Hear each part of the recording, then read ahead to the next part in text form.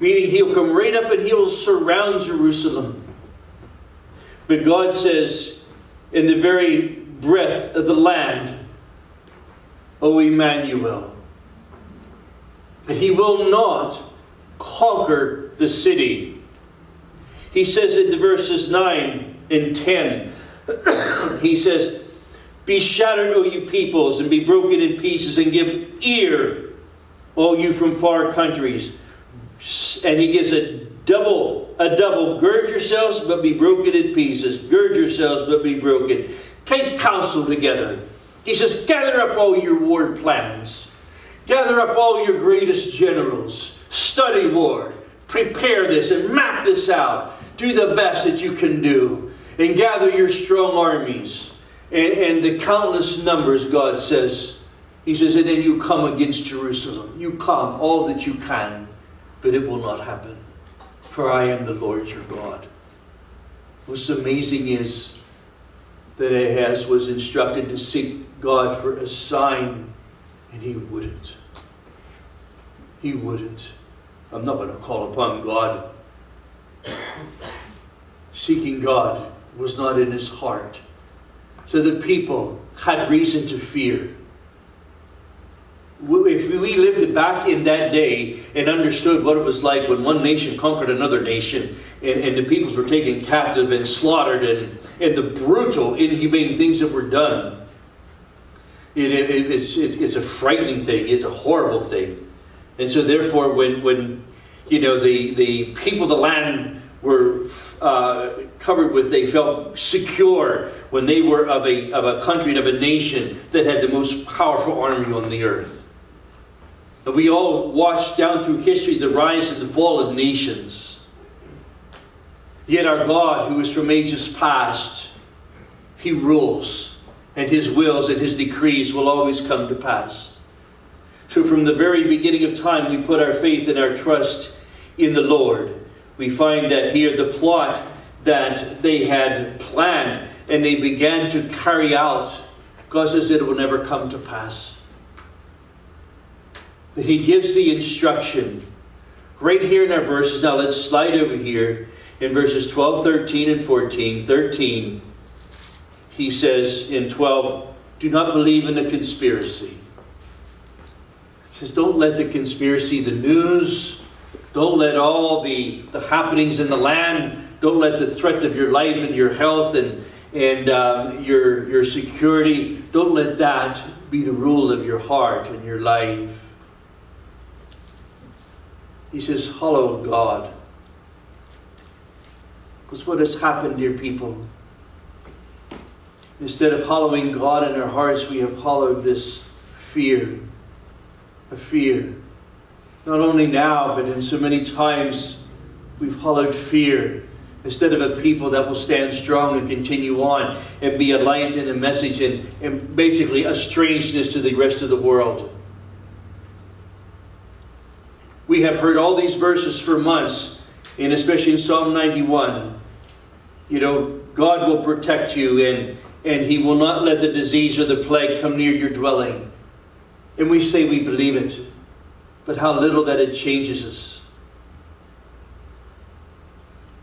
There has been what I have found to come to conclusion in my own heart and mind for, for quite a few is that, um, and, and I say it so kindly, but I say it very boldly, and I say it very carefully, but I say it very lovingly, but very sternly, that is because there's a lack of love for God, that we have ceased to love the Lord with all our heart and soul and mind. Not only have we ceased to come to the house of the Lord, but we have ceased to be um, proactive in laboring for the Lord. And uh, we, as God's people, have become very little different than the rest of the world.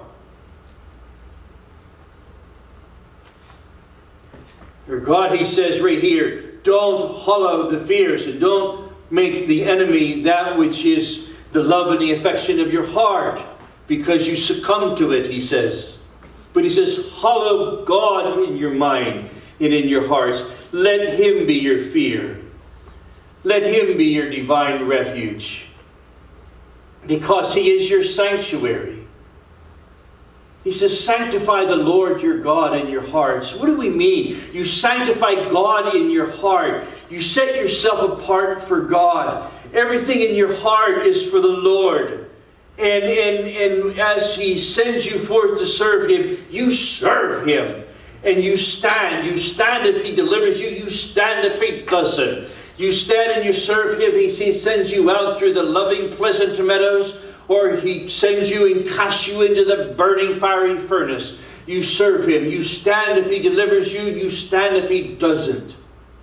You let God be the glory of your life. Fear God. He says, Fear God, not anything else. Let God be your fear. And that will conquer the fears of everything else. 1 Peter 1.17 says, Honor all men, love the brotherhood, fear God, honor the king. Deuteronomy 10, And now, what does the Lord your God require of you? But to fear the Lord thy God to walk in all of his ways, to love him and to serve the Lord thy God with all thy heart, with all thy soul. He says to honor the Lord. Honor the Lord.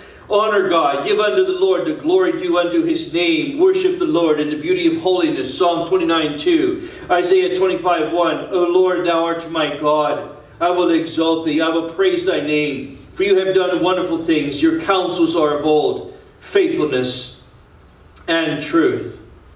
God says here to Isaiah, tell the people to reverence me, trust me, honor me, reverence the Lord. God is greatly to be feared in the assembly of his saints and to be had in reverence in all of them that are about him. In Psalm 89. And he is our divine refuge. Proverbs 14:26 says, In the Lord, in the fear of the Lord, there is strong confidence and his children will have a place of refuge.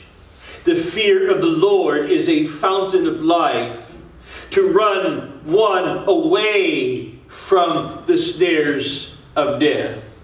To run run away from the snares of death and not be captivated by fears in the news and, and to have been alive in this day and you read some of the annals of the Assyrians and how even as with pregnant mummies, they would slice open their wombs and yank out their babies, sacrifice their babies unto their gods. And the, the brutality will go on and on. And no wonder they were afraid. When nations conquered another nation, their families were scattered. They never saw each other again. Children were carted off while parents were slain. They never saw each other again. God says, don't fear them. Mighty as they are, powerful as they are, I am the Lord your God. I am your refuge. So when the virus, the Assyrian virus, or anything, any disease, was to come and take your mind captive. That your faith be strong in the Lord. For he is your refuge. Through the blood of the, the covenant of the blood of his Son, Jesus Christ. He is yours. You are his. The Lord himself has a wall of fire around him. And he, therefore, is the wall of fire around his children. So, in the name of Christ, we press on and we sanctify God in our hearts. God, it is you whom I love. It is you whom I serve. I turn away from sin. I sanctify you. I, as Jesus said, Father, I now sanctify myself for their sakes. There, right before he went to the cross, and you watch him in Gethsemane, he said, I sanctify myself. I set myself apart for you, Father, for their sakes. You watch him wrestle in Gethsemane, and he comes out of Gethsemane having won the victory. No fears for what is, he is about to go through, what he is about to face. And they will take him, they will slice him, they will rip him apart. His bowels will stare at him, his guts will hang from him. He will be marred, in, as in, he'll be totally unidentifiable. And there upon the cross he will lay down his life, and they will suspend him, and his life will be given, his blood will be shed. for the sins of mankind. No fear. When you set yourself apart for God, death doesn't even strike you with fear. Even in that, we fear perhaps how we may die and how we may suffer. But in that, we give those fears to the Lord and be that as it may. How is it these who have been martyred for Christ throughout the centuries endured such inhumane actions against them that continue on today? Of their faith in God's faithfulness in their lives. So, in this strong word from God, he says, no matter how strong the Assyrian Empire is in our land today and around the world, he says, My name is Emmanuel, and I am with you. And we come here as a word of God, and they're certainly um, established upon the Lord as we settle into our hearts by grace that He is our God, and I must press on to serve Him gladly all of my days. All of my days. He is my sanctuary. We sing these things, we read these things, we say these things, but we are slow to believe it. For when we believe within the heart, we press on. The Lord says, I will guide you with mine eye. I will guide you. So let the life be consecrated unto the Lord in unconditional surrender, and we shall feel the hand of the Lord upon us for good. When the ways are many, we shall know the right one. So, what will it be when the news of Assyria is approaching, is surrounding? Will it be the fear of Assyria? Will it be faith in Almighty God? Heavenly Father, Thy word is true. Thy word is a sure anchor for us in our life. You delivered Jerusalem just as you said. And uh, you are our high tower. You are our surety. And God, may we lay hold of the promises of God. Immerse in the Word, immerse in the Scriptures, immerse in the promises, and claim them, and claim them, and claim them. And rejoice. For people who rest in God are happy people. People that press on. And in the midst of that, yes, as the Word declares, honor men, honor the King, love the brethren that our reverence is in God. That we live wise, we live peaceably, we live meek, we live holy, we live boldly for the Lord in these days, that others may know. Strengthen our hearts, establish our hearts, that we will be a vessel of righteousness. We may be hard pressed on every side. We may feel times that we're beaten down, but no matter what, we are not forsaken and we're not done until the Lord calls us on home. And even then, we pass the baton on to the next one. And the, and the righteous glory of the Lord continues on until the day when it shall be no more.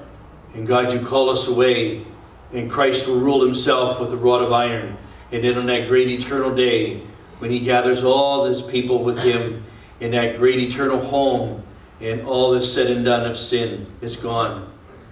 Oh Lord, we must seize the day and rise to where we are and, and, and be faithful unto the Lord in, in all of our heart and all of our soul and our mind and just love the Lord with everything we have. May our hearts be sanctified unto the Lord. May our heart, our mind reverence the Lord. Be holy unto the Lord. And truly know things and know that we, as was read for us this morning, we're going to gird up the loins of our mind. Gird them up. And we will be the Lord's mighty army. as we keep our eyes fixed on you, turning our eyes upon Jesus and looking full in his wonderful face, and all the things of the world will grow strangely dim in the light of his glory and his grace. Let it be so.